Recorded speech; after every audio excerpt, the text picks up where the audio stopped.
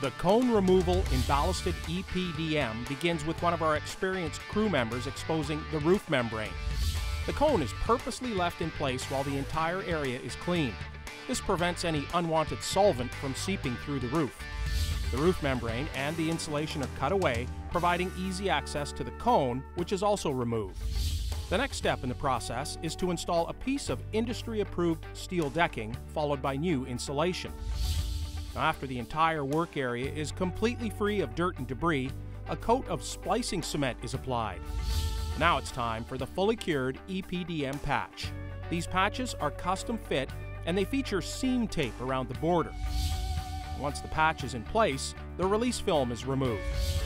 Pressure rolling takes away any leftover air pockets before the edges are sealed with a special lap sealant. The existing ballast is evenly replaced and the cone removal in ballasted EPDM project is complete.